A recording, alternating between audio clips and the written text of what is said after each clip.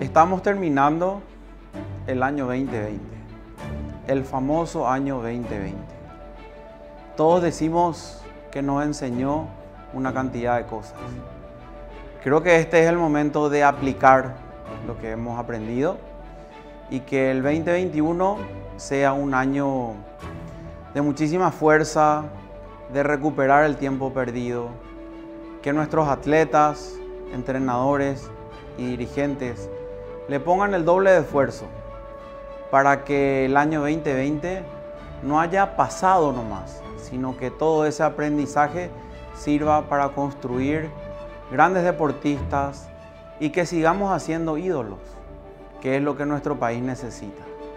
Yo creo que el deporte es la mayor manifestación de nacionalismo que podemos tener. Entonces busquemos todos también de levantar nuestro querido Paraguay a través del deporte. Muy feliz año nuevo, que el 2021 nos dé muchísima salud y muchísima paz familiar. Gracias.